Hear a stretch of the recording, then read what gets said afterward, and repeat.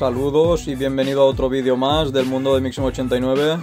Aquí en este vídeo les vamos a mostrar, tras la limpieza que realizamos en el vídeo anterior de malas hierbas, por fin podemos acceder, ya, ya hacía tiempo que deberíamos de haberlo hecho, pero claro, lo teníamos lleno de hierba después de la poda de mantenimiento, entonces tuvimos un pequeño cúmulo de trabajos que realizar y ahora ya estamos en el trabajo que voy a mostrarles en este vídeo.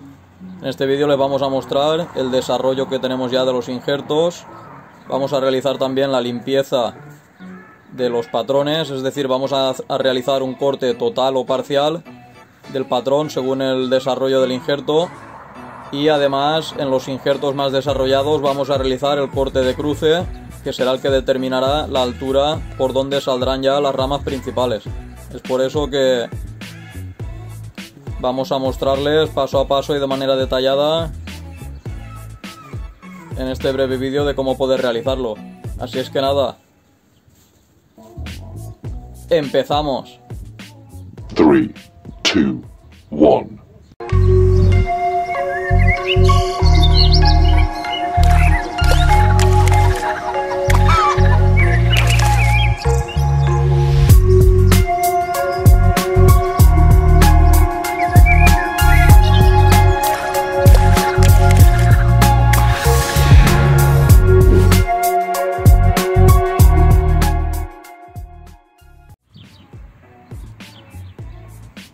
Aquí les mostraríamos el primer ejemplo. En este caso tenemos un patrón en el cual tenemos dos yemas injertadas, las dos verdes, o sea que las dos tienen posibilidad de salir, pero todavía no han salido.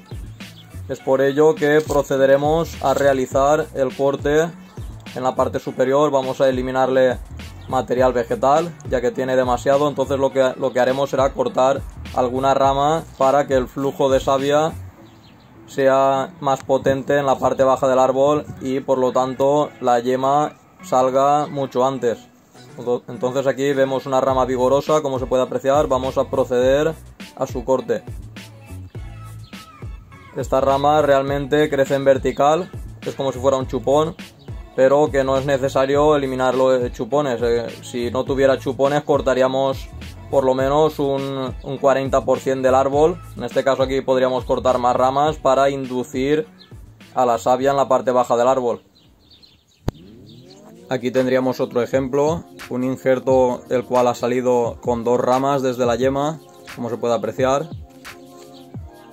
Ya lo tenemos atado por si se rompía por el viento porque las ramas eran delgadas y en cualquier viento lateral se puede romper, es por eso que es muy importante realizar el atado de los injertos. Así es que en este ya podemos cortar, proceder al corte del patrón. En este caso dejaremos un trozo de patrón para que se mantenga atado hasta que sea un poco más grande ya y pueda aguantar perfectamente. Así es que, como pueden observar, utilizaremos las tijeras de poda que les mostré en el vídeo anterior. Ya le hemos cogido cariño, estamos usándolas para todo y es que cabe decir que son unas muy buenas tijeras. Así es que nada, procederemos al corte dejando un trozo de patrón a la altura de donde tenemos el atado de, de los injertos. Una vez ya los injertos sean suficientemente grandes, procederemos a retirar el resto del patrón, como se puede apreciar, realizando el corte en diagonal a ras de donde está la yema de injerto. Por el momento lo dejaremos así para que se mantenga por el viento. Así es que nada, vamos a mostrarle el siguiente ejemplo. Aquí tenemos otro ejemplo en el cual tenemos un injerto todavía más desarrollado. Es aquí donde ya tendremos que cortar el patrón en su totalidad. Como vamos a mostrarles a continuación, realizaremos un corte en diagonal, siempre un centímetro por encima de la yema. Aquí tenemos el injerto Así es que nada, vamos a proceder a mostrarles.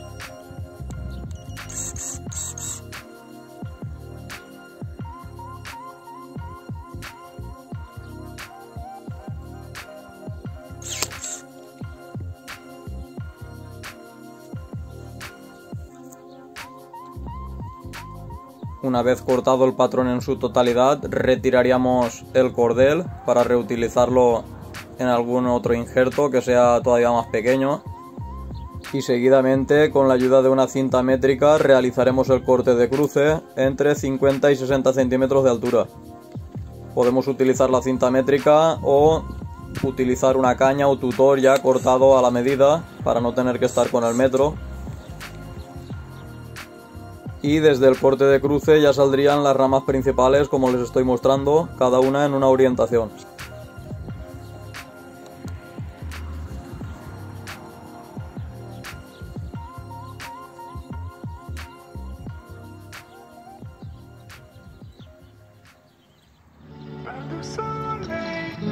Better soleil, better soleil, better Sunday.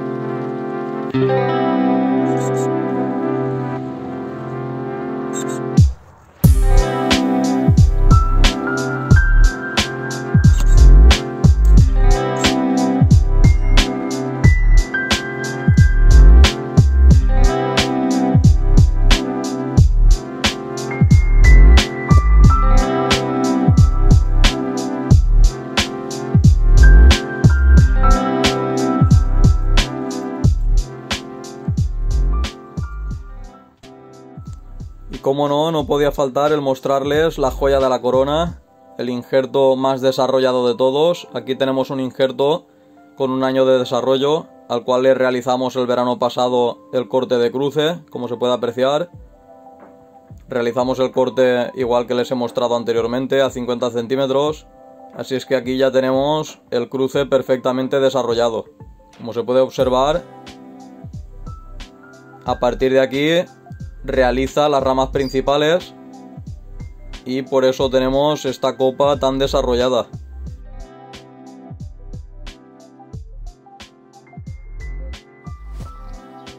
Y nada, como podéis observar, aquí hemos realizado el corte parcial y total de los patrones de los injertos. Los que estaban más desarrollados ya hemos podido cortarlos en su totalidad, como habéis podido apreciar. Aquí tenemos los restos de poda. Y los que todavía no habían salido, los injertos que todavía no habían salido, pues hemos cortado parcialmente el árbol, más o menos la mitad. O eso ya es también a nuestra elección. Las ramas que vemos que posiblemente vayan a molestar al injerto cuando salga, pues esas las retiraremos y por lo menos el 50% del árbol para poder así retener savia en la parte baja y que el injerto salga más pronto. También recuerden la importancia de desinfectar las tijeras de poda. Les dejaré enlace por aquí por la parte superior. Siempre recalco lo mismo porque es muy importante para evitar el traspaso de enfermedades de un árbol a otro. Por eso que siempre deberemos de pulverizar las, las cuchillas con el, con el desinfectante que les mostré en este vídeo anterior. En este caso hemos utilizado las tijeras de poda batería que les mostré en el vídeo anterior, pero podemos utilizar tijeras manuales. Pero claro, nos hemos acostumbrado ya a utilizar estas y las, utilizamos para todo. Si todavía no has visto el vídeo, también te dejaré el enlace por aquí por la parte superior. Es una muy buena herramienta de poda, y es que nada, simplemente quería mostrarles esto, como podéis apreciar, de qué manera más sencilla realizar el corte parcial o total de los patrones para poder así darle ya el comienzo al injerto para que empiece a desarrollarse a la carrera.